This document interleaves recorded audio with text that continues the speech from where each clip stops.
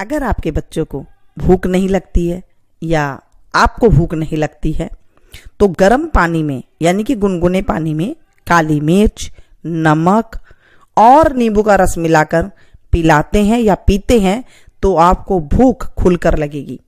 गर्म पानी, गुनगुना सा पानी हो और नमक, सेंधा नमक हो तो बहुत अच्छी बात है। काला नमक भी आप ले सकते हैं। आप देखेंगे आपके पेट की जो भूख मर गई थी वो एकदम से जागृत हो जाएगी और आप खाना खाने लग जाएँगे। बच्चों के प्रति ये बहुत ज़्यादा बातें आती हैं कि बच्चे खाना नहीं खाते हैं। ये टिप्स अजमा करके देखिएगा। और मुझे बताइएगा ज़रूर कैसी लगी। आज की टिप्स अगर आपको पसंद आई हो ना तो प्लीज़ एक लाइक ज़रूर दें। इसे ज़्यादा ज़्यादा अपनों के साथ शेयर कीजिएगा। मेरे चैनल को अगर आपने सब्सक्राइब नहीं किया है तो प्लीज़ कर लीजिएगा ताकि ऐसी वीडियो आप मिस ना कर सके। और जो पास में बेल आइकन है, उसे ज़रूर प्रेस कीजिएगा। मिलती हूँ फिर से एक नई वीडियो में नई जानकारी के साथ। तब तक आप लोग देखते रहिए। Thank you.